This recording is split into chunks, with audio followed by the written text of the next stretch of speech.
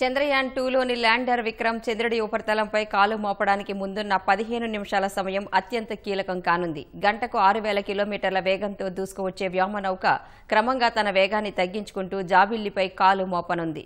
Lander soft landing కావడానికి ఈ పదిహేను నిమిషాలే అత్యంత కీలకం కాగా ల్యాండింగ్ విజయవంతమైతే జాబిల్లిపై సురక్షితంగా వ్యోమనౌకను దింపిన నాలుగో దేశంగా భారత్ అవతరిస్తుంది. అదే సమయంలో చంద్రుడి దక్షిణ ధ్రువంపై వ్యోమనౌకను దింపిన మొట్టమొదటి దేశంగా భారత్ ఆవిర్భవిస్తుంది.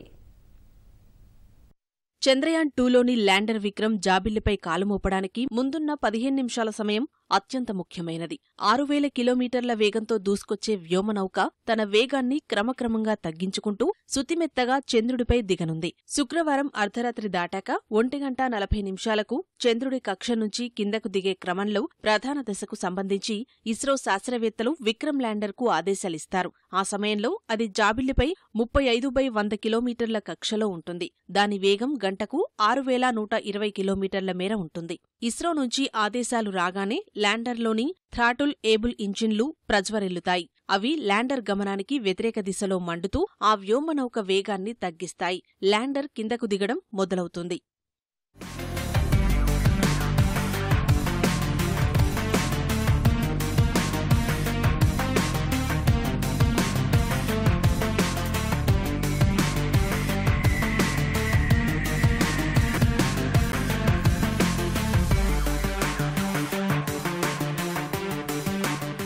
పది పాయింట్ మూడు నిమిషాల తర్వాత జాబిల్లు నుంచి ఏడు పాయింట్ నాలుగు కిలోమీటర్ల ఎత్తుకు విక్రమ్ చేరుతుంది. ఆ సమయంలో దాని వేగం గంటకు ఐదు వందల ఇరవై ఆరు కిలోమీటర్లకు తగ్గిపోతుంది. ఆ తర్వాత ముప్పై ఎనిమిది సెకండ్లలో ల్యాండర్ చంద్రుడి నేల నుంచి ఐదు కిలోమీటర్ల ఎత్తుకు చేరుతుంది.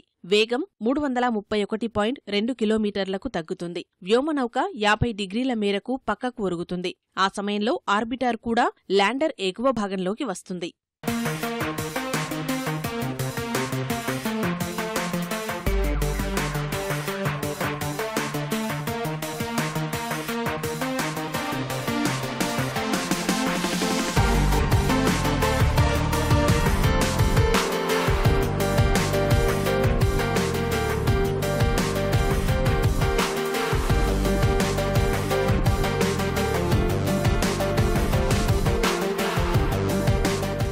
తదుపరి ఎనభై తొమ్మిది సెకండ్లలో విక్రమ్ ల్యాండర్ చంద్రుని నుంచి నాలుగు వందల మీటర్ల ఎత్తులో ఉంటుంది. అక్కడ పన్నెండు సెకండ్ల పాటు దాదాపు నిశ్చలంగా ఉంటుంది. చంద్రుడి ఉపరితలం గురించి డేటాను సేకరిస్తుంది. తదుపరి అరవై ఆరు సెకండ్లలో విక్రమ్ వంద మీటర్ల ఎత్తులోకి దిగివస్తుంది. ఇరవై ఐదు సెకండ్ల పాటు నిశ్చలంగా ఉంటుంది. ఎక్కడ దిగాలన్నది విశ్లేషిస్తుంది. అందుకోసం కెమెరాలతో పరిశీలిస్తుంది. మొదట అనుకున్న చోటనే కాలు మోపాలా లేదా వేరే ప్రదేశాన్ని పరిశీలించాలా అనే విషయాన్ని యోచిస్తుంది. పది మీటర్ల ఎత్తు నుంచి జాబిల్లి ఉపరితలాన్ని తాకడానికి విక్రమ్కు దాదాపు ఇరవై ఐదు సెకండ్లు పడుతుంది. ల్యాండర్లోని నాలుగు కాళ్ళు చంద్రుడి ఉపరితలాన్ని తాకినట్లు సంకేతాలు వచ్చే వరకు ఇంజిన్లు పనిచేస్తాయి.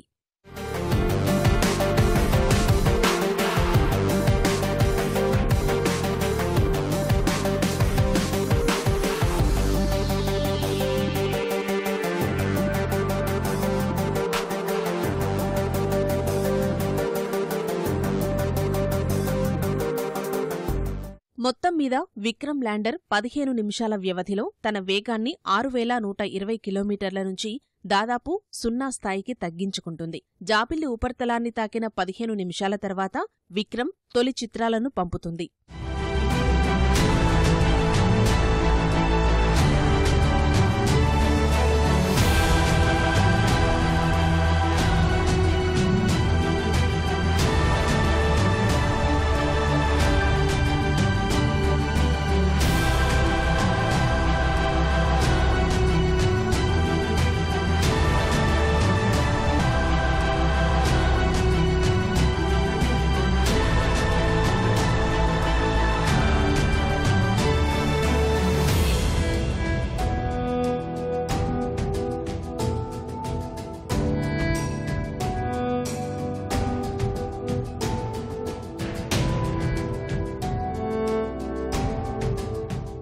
చంద్రుడి దక్షిణార్ధగోళంలో మాంచినస్ సి సింపలియస్ ఎన్ అనే రెండు బిలాల మధ్య ప్రాంతంలో ల్యాండర్ దిగుతుంది. జపాన్కు చెందిన కగుయా ఆర్బిటర్ అమెరికాకు చెందిన ఎల్ఆర్ఓ ఆర్బిటర్లు అందించిన చిత్రాలు డేటాను విశ్లేషించిన ఇస్రో ఈ ప్రాంతాన్ని ఎంపిక చేసింది.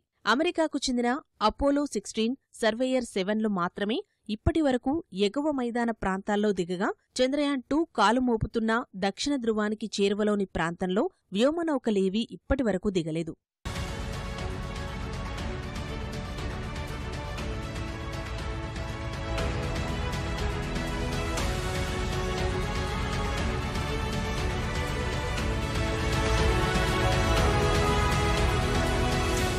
చంద్రుడిపై విక్రమ్ కాలుమోపే సమయానికి అక్కడ సూర్యోదయమవుతుంది. దీంతో ఈ వ్యోమనౌక తన సౌర ఫలకాల ద్వారా బ్యాటరీలను రీఛార్జి చేసుకుంటుంది. భూకేంద్రంతో నేరుగా హైబ్యాండ్ విడ్త్ లింకును ఏర్పాటు చేసుకుని సంభాషిస్తుంది. తన పరిధిలోకి వచ్చినప్పుడల్లా ఆర్బిటార్తోనూ కమ్యూనికేషన్ సాగిస్తుంది. మొదట ఇస్రో శాస్త్రవేత్తలు ల్యాండర్ ఆరోగ్య పరిస్థితిపై తనిఖీలు చేస్తారు. అనంతరం జాబిల్లి ఉపరితల కార్యకలాపాలు మొదలవుతాయి.